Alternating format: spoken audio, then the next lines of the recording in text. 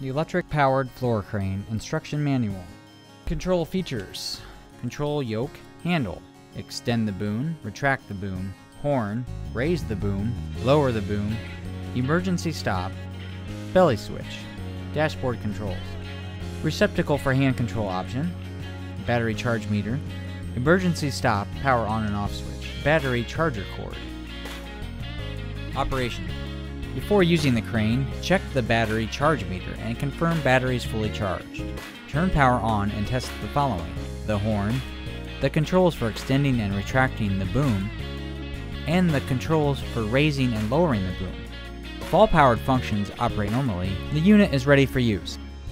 Before the crane is loaded, perform the following Verify the load is evenly distributed and safely secured. Verify the crane will be operating on a level surface. Verify the transport distance in a short distance. The longer the distance, the higher the risk of injury or excessive drive system wear and tear.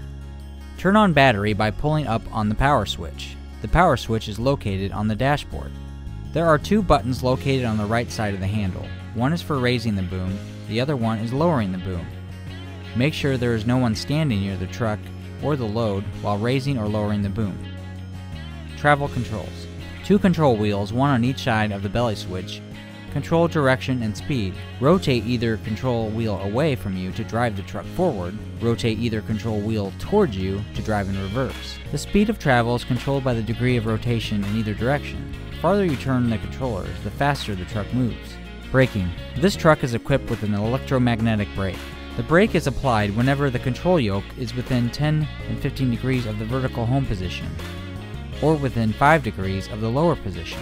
The brake activates regardless of the lateral side to side position of the yoke. Whenever the handle is released, it automatically returns to the vertical position and activates the brake. Always confirm that the brake is in normal operating condition before using the truck. Emergency Stop Belly Switch. A red emergency stop feature, a belly switch, is located at the top of the control yoke. When pressed and released, the switch interrupts drive function, which causes the unit to stop. If the belly switch is pressed and held down, the unit will immediately reverse travel direction, away from the operator, for 3 seconds. If the belly switch is pressed and quickly released, the unit will immediately stop. Before the unit will operate, normally after the belly switch has been activated, it must be reset. To reset functions, either move the yoke all the way up, the yoke will automatically return to the upright home position whenever the operator releases the yoke, or all the way down. Emergency power shut-off switch. To turn power on, pull out the red button. To shut off all power, travel, lift lower, and extend retract functions, press the button down. In an emergency situation, pressing the button disconnects power and immediately stops all powered function, unlike the belly switch which affects only the travel, forward, and or reverse functions. A button for activating the horn is located on the top side of the control handle.